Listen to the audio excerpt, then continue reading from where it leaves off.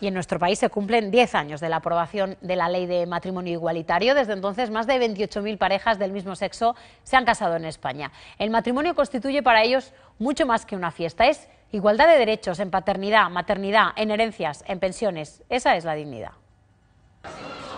Emilio y Carlos llevan 40 años juntos, pero en un par de semanas celebrarán su décimo aniversario como matrimonio. Todavía recuerdan como si fuera ayer aquel 11 de julio en el que se convirtieron en la primera pareja del mismo sexo en casarse en España.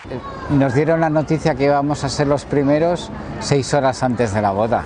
Mi madre entró en el salón de actos del ayuntamiento y cuando vio había como 80 cámaras y, y dijo, pero ¿y esto? Aquel día pasaron a formar parte de la historia, pero la suya, como la de tantos otros, no ha sido fácil. Antes del matrimonio, pues había cosas que te recordaban continuamente que tú eras un ciudadano de segunda clase.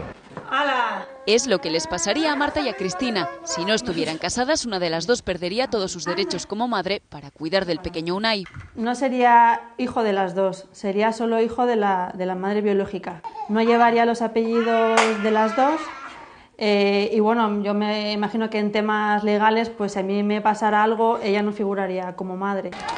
La ley del matrimonio igualitario ha facilitado que 28.310 parejas del mismo sexo se hayan casado en España en esta década. Un gran paso para adquirir derechos también en el caso de perder a un gran amor. Esta norma, aprobada por el gobierno de Zapatero, hace que el proceso de enviudar evite el desamparo legal. Que aunque te quedes viudo o viuda, no te van a echar de tu casa que has pagado tú y luego tienes mm, el, la pensión de viudedad. Una normativa que ha permitido que la igualdad de derechos sea una realidad desde hace ya 10 años.